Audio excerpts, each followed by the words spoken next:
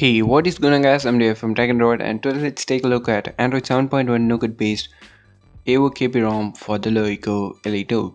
So AOKP actually stands for Android Open Source Kang project. Now moving on, in order to install the custom ROM you need to have the latest TWRP recovery installed on your device and I will leave a link to the latest TWRP recovery and a tutorial video of mine on how to unlock bootloader and install custom recovery on the LeEco LE2 so if you haven't already installed the recovery check them out. So now moving on you need to download two zip files the ROM and the Google Apps zip file. I will leave a link to both the zip files in the description below so make sure that you download them and place them on your internal storage.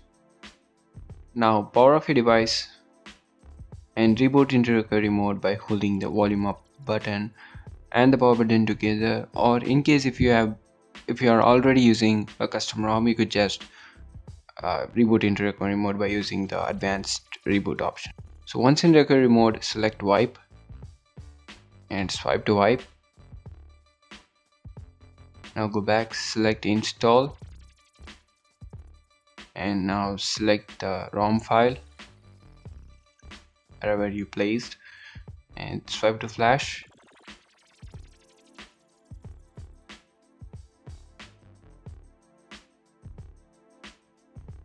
now select the GApps file and swipe to flash. Now uh, before downloading the GApps make sure that you download nano version of the GApps. Android 7.1 arm 64-bit version of GApps that too the nano package.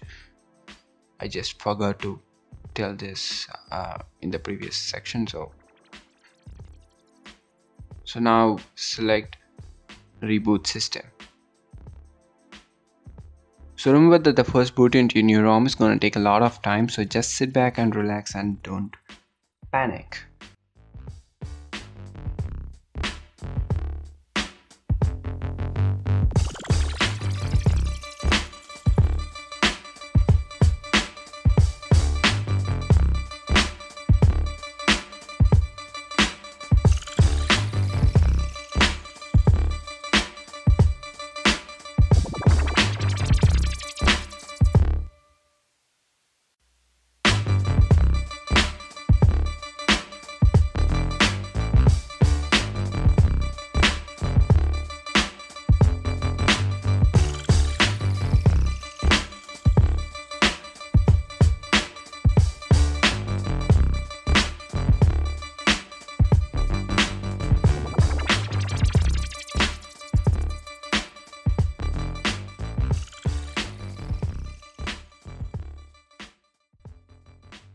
So now we have successfully booted into ROM. I will set up the ROM completely and I'll be back.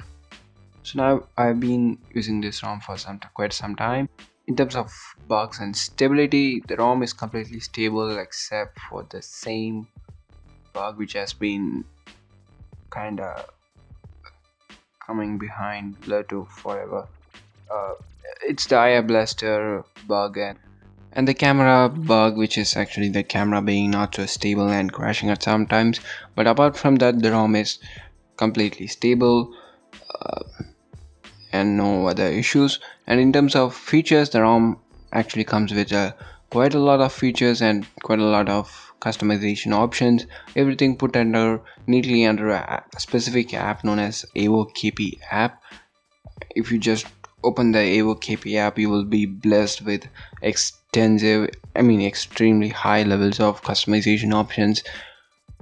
And if you are a, a person who likes to customize your smartphone a lot and each and every aspect of your uh, operating system then this ROM is really great for you. But for me personally I kind of prefer ROMs which are closer to stock Android offering very little to zero additional features. So to me this kind of uh, feels too convoluted. Um, I don't know. So that's just my opinion. So if you like this video hit the like button. For more videos hit the subscribe button. What do you think about this ROM? Uh, try this ROM and leave them in the comment section below. We'll talk about it. So that's it for this video guys. I'll see you guys in the next one. See ya